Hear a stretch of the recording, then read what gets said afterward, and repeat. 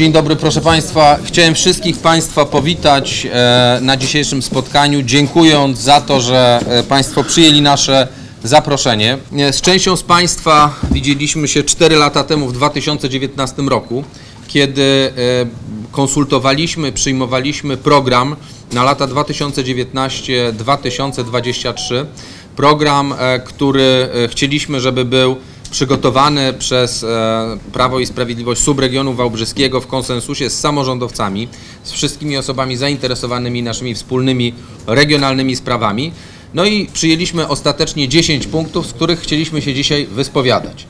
Mm, Natomiast też chcielibyśmy jako parlamentarzyści, pan marszałek, zebrać opinie i pomysły na temat przyszłej kadencji, co Państwo jako samorządowcy, działacze, aktywiści, wszystkie osoby, które są zainteresowane subregionem wałbrzyskim, e, co uważają, że powinno być istotne w kadencji 23-27, bo też chcielibyśmy taki program jeszcze w tej kampanii sformułować, a dzisiaj rozpocząć takie konsultacje.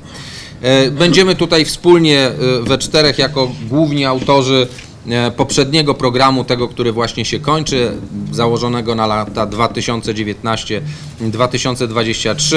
E, Będziemy mm, e, relacjonować e, to, co udało nam się zrobić. Nie, niestety nie wszystko, ale sporo się udało zrobić, a potem e, przedstawimy te pierwsze pomysły i Państwa byśmy poprosili wtedy o dyskusję i propozycje. My zobowiązaliśmy się po konsultacjach właśnie w 2019 roku, że zostaną zrewitalizowane takie cztery trasy. Jeden Wrocław, Sobótka, Świdnica, Jedlina, Zdrój, potem Kłodzko, Stronie Śląskie, Wrocław, Piława Górna i Nowa Ruda Radków.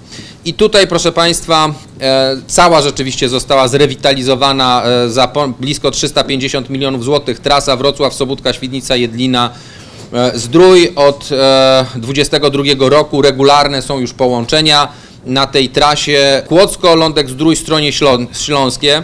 E, To jest, proszę Państwa, bardzo trudne wyzwanie było. W zeszłym roku, we wrześniu, zostało uruchomione na tej trasie przez kolej zastępcze połączenie mm, e, autobusowe, natomiast dopiero dosłownie chyba wczoraj, tak Panie Marszałku, udało się przejąć od PKP PLK tory. Tam przez skomplikowaną strukturę własnościową przez długi czas nie mogliśmy porozumieć się jako koleje dolnośląskie z PKP i drugą spółką PKP PLK, jak e, przejąć tory, które muszą być zre, zrewitalizowane, żeby pociąg ruszył, ale w końcu to nastąpiło i jesteśmy w trakcie realizowani, re, realizowania e, tego e, projektu i na pewno ten projekt zakończy się już niebawem z sukcesem, czyli pociąg znowu pojedzie tymi torami. Wrocław, Kobierzyce, Łakiewniki, Niemcza, Piława Górna.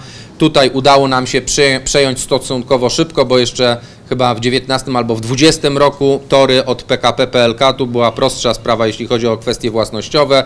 Udało nam się pozyskać e, 30 em, przepraszam, 20 milionów ze Skarbu Państwa, pozostałe środki z e, województwa dolnośląskiego. Rozpoczęła się już rewitalizacja tej linii. W przyszłym roku jest założenie, że pociągi tą linią już będą jeździły. No i ostatnia, czwarta trasa, Nowa Ruda Radków, ona jest na czerwono zaznaczona. Po pogłębionych konsultacjach okazało się, że jednak odtworzenie tej trasy jest na tym etapie niezasadne, więc odstąpiliśmy od tego punktu. I to był punkt pierwszy naszego programu. Punkt drugi e, dotyczył Y Sudeckiego, czyli rozpoczęcie budowy S8 od Wrocławia do Kłodzka i pracę nad połączeniem z Wrocławia, e, Wrocławia ze Świdnicą i Wałbrzychem drogą S5. S5 to zupełnie nowa trasa. Proszę Państwa, jesteśmy dziś na etapie takim, nie chcę omawiać całego procesu inwestycyjnego, który jest szalenie długi w Polsce, choć nie jest to e, wina polskich przepisów, ale przede wszystkim europejskich i wymagań środowiskowych. E, Jesteśmy na takim etapie, że w tej chwili e, GDAKA dokonuje wyboru wykonawcy pierwszego odcinka Wrocław-Łagiewniki. Mamy nadzieję, że w ciągu najbliższych tygodni zostaną rozpisane przetargi na kolejne odcinki aż do miejscowości Bardo, no a potem e, od Barda e, do Kłodzka. Zostały też zabezpieczone środki i zostało umieszczone e, w planie i rozporządzeniu Rady Ministrów dotyczącym budowy dróg szybkiego ruchu i autostrad, również odcinek z Kłodzka do Boboszowa. Więc tutaj udało się przełamać imposybilizm, imposybilizm i te prace trwają do, mamy nadzieję, że do 27 roku będziemy jeździć już co najmniej do Barda Eską.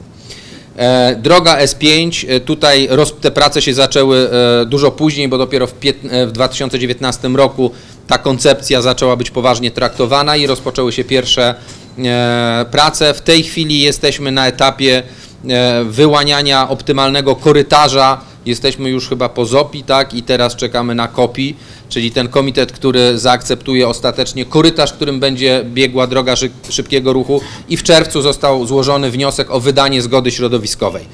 Więc tutaj mm, też e, ten projekt e, jest w, e, w zaawansowanej fazie realizacji. Trzecią sprawą to była budowa trzech obwodnic w ramach programu 100 obwodnic w naszym regionie i tutaj mieliśmy, no z jednej strony została dokończona obwodnica Wałbrzycha, kilkadziesiąt lat mieszkańcy oczekiwali. Tam była część środków europejskich, część środków budżetowych zaangażowana, ale oprócz tego zabezpieczone zostało 392 miliony złotych na budowę obwodnicy Złotego Stoku, 46 milionów e, złotych na obwodnicę Boguszowa-Gorc. Trwają prace nad projektem budową obwodnicy mm, Strzegomia i też jest e, realizowany e, etap drugi obwodnicy do e, Dzierżoniowa i za chwilę zacznie się trzeci etap, więc tutaj aż z naddatkiem udało się ten punkt zrealizować. Kolejny punkt, czwarty, pozyskanie znaczących środków na remont katedry świdnickiej i w ogóle zabytków. E, ten, ta kadencja była przełomowa, łącznie 125 milionów, z czego 5 milionów na katedrę w Świdnicy, pozostałe środki na zabytki zarówno sakralne, jak i świeckie w całym naszym regionie. Nigdy wcześniej takich pieniędzy nie udało się mm, e, pozyskać, w szczególności tu Pałac Marianny Orańskiej, ale i Twierdza Srebrnogórska zostały mocno finansowo e, wsparte. E, kolejna sprawa, uruchomienie programu budowy chodników przy drogach gminnych. Tutaj też wydaje się, mówiliśmy o kilku gminach, tutaj z naddatkiem udało się zrealizować to, ponieważ zostały uruchomione, uruchomione programy takie centralne, Polski Ład oraz poprawa bezpieczeństwa drogowego e, i e, tutaj między innymi Bielawa, Piława Górna, Łagiewniki, Marcinowice, Ziębice, no, Mieroszów, szereg miejscowości, w których zostały zbudowane i drogi, i chodniki, i przejścia dla pieszych. Udało nam się zrealizować ten punkt.